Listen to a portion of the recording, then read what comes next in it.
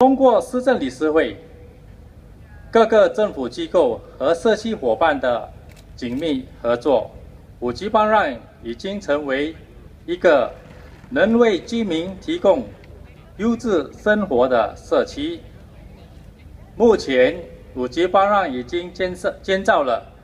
许多有盖走廊，连接区内的组。我们也建造了设有扶手和斜坡道，落实无障碍通行计划，方便让行动不方便的居民能在五级方让镇内到处走动。我们的社区设施如社区社菜园、社区礼堂、